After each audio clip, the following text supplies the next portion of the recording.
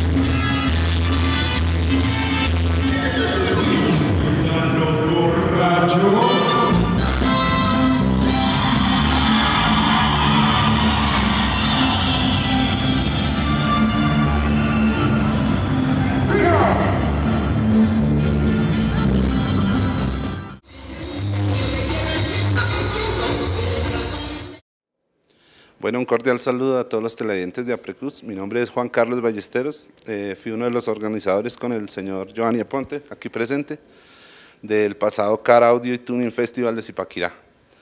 Eh, principalmente queremos agradecer al público asistente, a su buen comportamiento en el evento.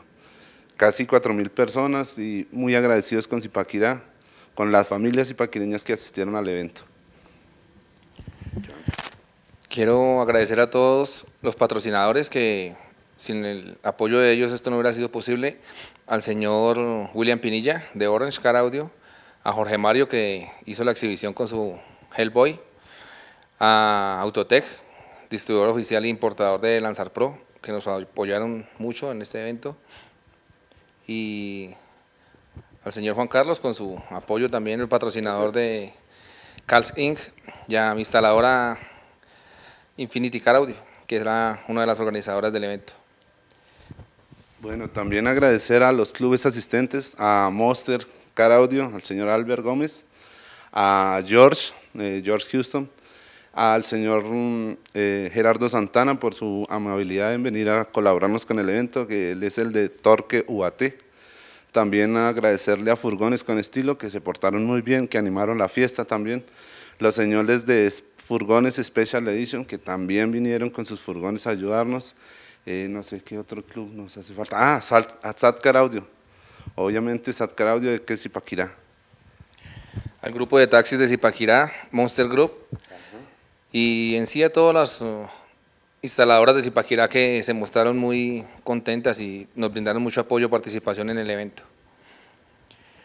Eh, queremos agradecer también el comportamiento del público. Eh, un poquito de logística faltó en el, de pronto en el, en el intercambio de categorías porque la gente pues por ver los vehículos de exhibición invadían el espacio, pero pues no fue nada del otro mundo y lo pudimos solucionar. Eso es eh, un error que a futuro pensamos corregir. Pues no sé qué más quiera. No, pues quedamos pendientes para la próxima cita. El Car Audio Tuning Festival Zipaquirá seguirá. Seguirá con, en Zipaquirá con nosotros eh, como organizadores. Eh, habría que ver es fechas y también obviamente mirar logística del sitio porque ya es un poco eh, fijarnos a las fechas que nos impongan pues otros eventos y la misma alcaldía para realizar el próximo evento. Entonces quedamos al pendiente y agradecerles de nuevo a, la familia Tuning y Caraudio Zipaquireña. Sí, como dice Juan Carlos, el Car Audio Tuning Festival Zipaquirá es un evento que pensamos realizar inicialmente anual, todos los eh, meses de enero, pues en vista de la acogida del público zipaquireño que es muy amante del car audio y tenemos mucho, mucho vehículo armado aquí de diferentes instaladoras. Entonces, inicialmente pensamos manejar este evento anual, pues para no interferir con las fechas el calendario de eventos de otros pueblos y de otras organizaciones. Pero les estaremos comunicando cualquier eventualidad. Sin embargo, muchas gracias por haber asistido a nuestro evento. Quedamos más que satisfechos con el público zipaquireño y con todos los los concursantes que se desplazaron desde distintas eh, localidades, Zipaquirá, hubo gente de Pasto, Chiquinquirá, Chiquinquirá, Obaté, Tocancipá, Mosquera, Madrid. toda la sabana Buena asistencia. cundinamarquesa.